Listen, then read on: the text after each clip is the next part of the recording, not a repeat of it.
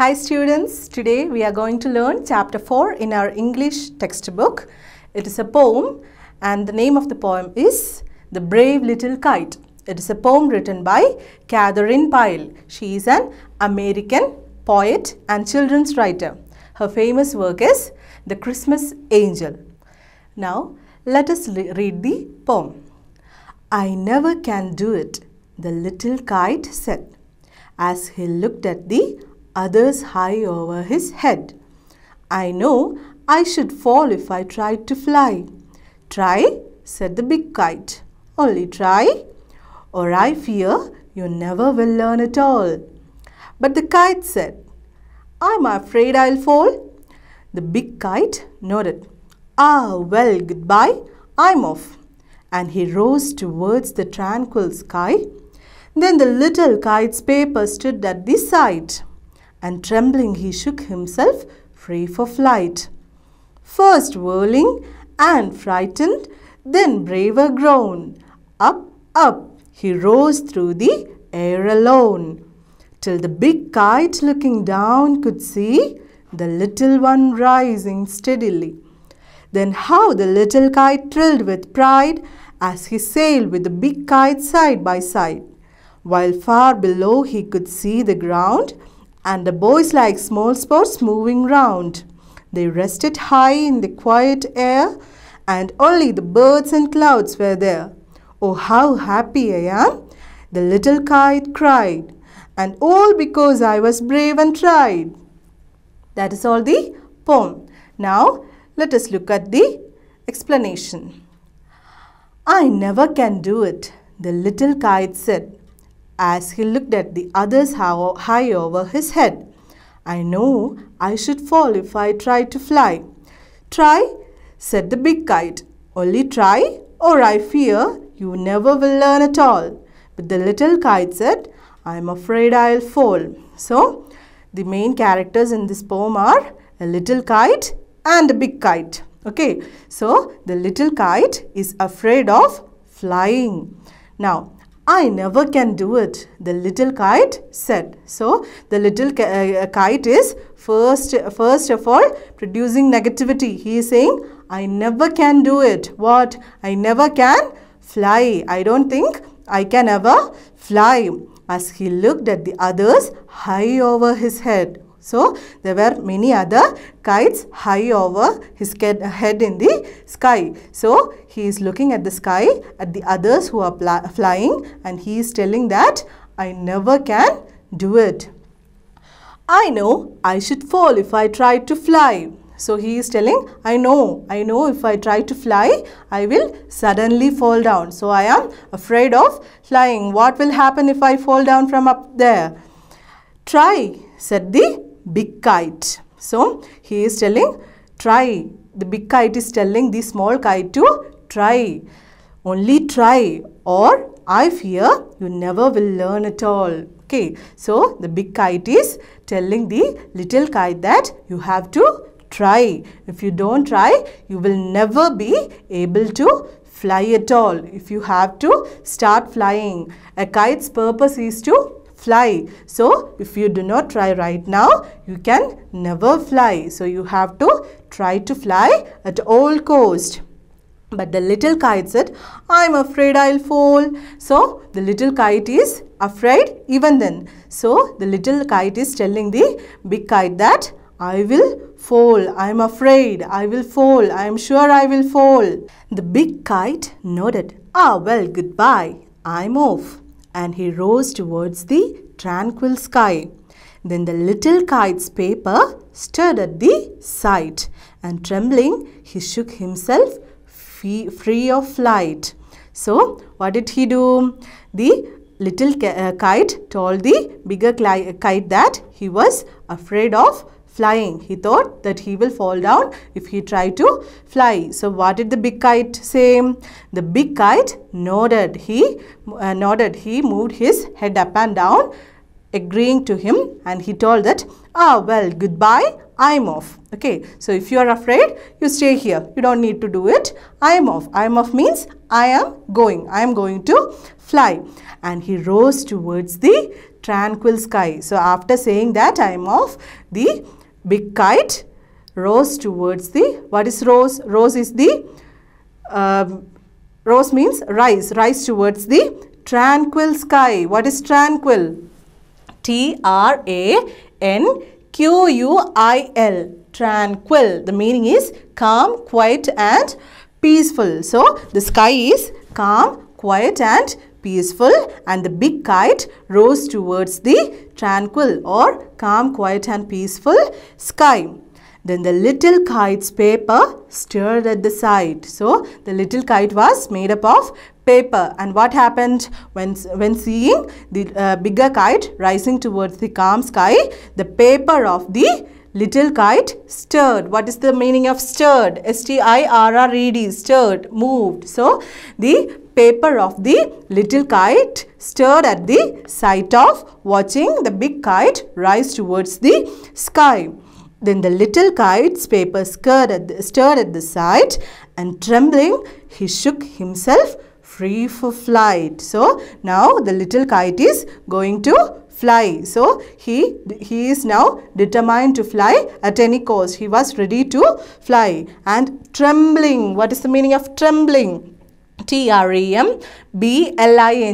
trembling. The meaning is shaking because of being nervous. So, this little kite was nervous and he was sh shaking. He was shaking beca because of, uh, because he was frightened. So, this little kite trembled and he shook himself free for flight even if though he is afraid he decided he is going to fly he to, uh, he made himself ready for the flight first whirling and frightened, then braver grown. Up, up, he rose through the air alone, till the big kite, looking down, could see the little one rising steadily. So, what happened after that?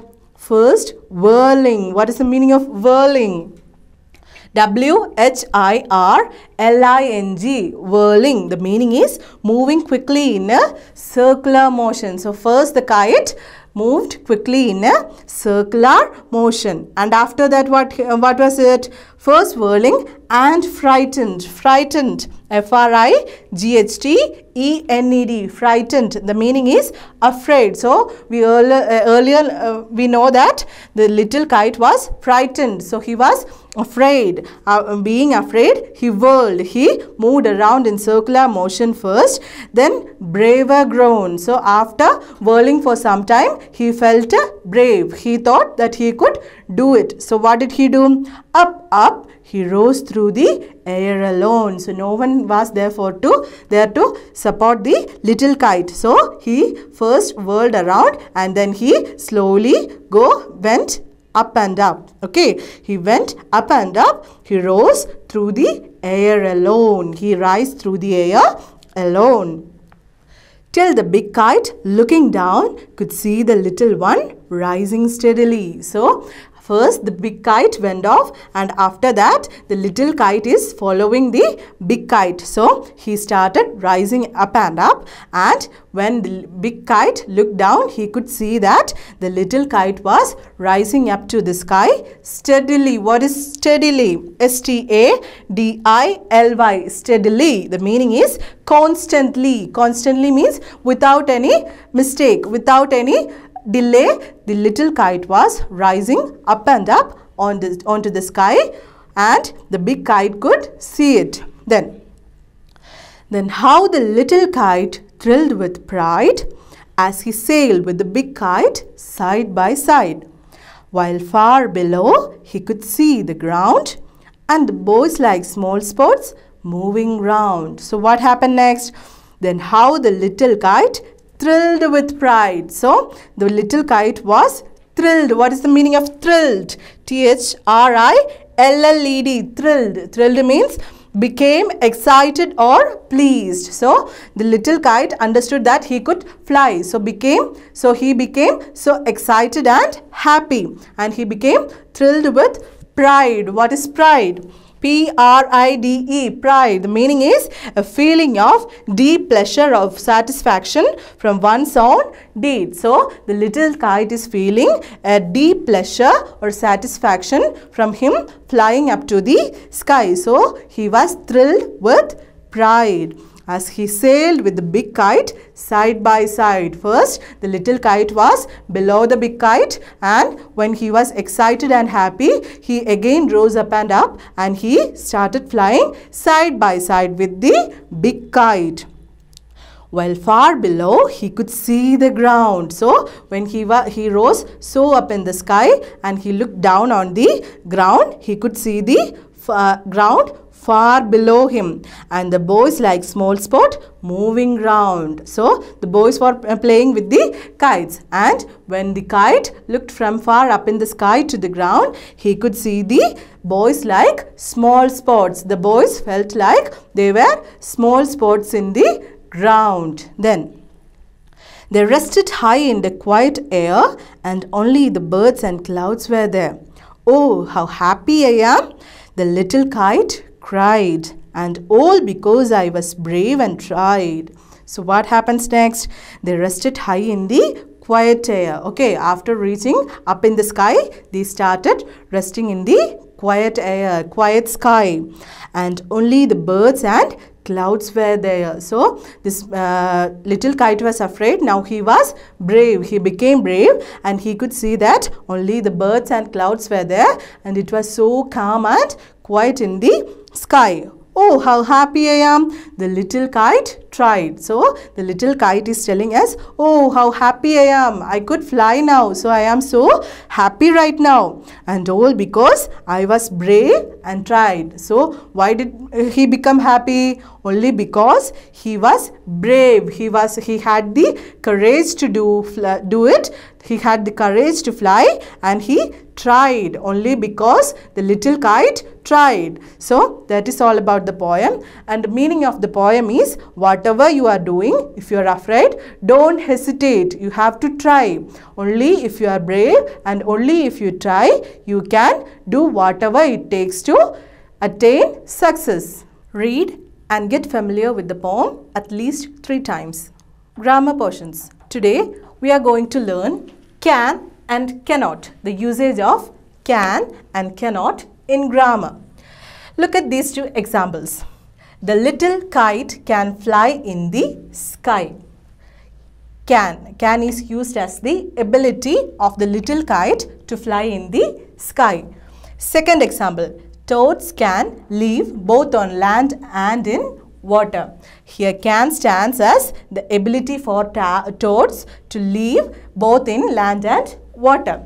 So, can is a word which is used to denote ability. Can is used to denote ability and cannot is used if it doesn't have an ability. Can stand for the ability to do something and cannot stands for not being able to do something. If we use can in a question, can you run fast? There are two possibilities. Yes, I can or no, I cannot. So, if a question starts with can, then, then it has a possibility of an answer ending with yes or no. Children, you have also need to note that this can can be substituted with able to. The little kite can fly in the sky can be also written as the little kite is able to fly in the sky. Here, toads can live both on land and in water can be written as toads are able to live both on land and in water. Now, try to do the exercises from page number 37 using can, cannot or able to. There is also another exercise part B, you have some sentences are given there. You have to make questions using can. That's all for today. See you in next class.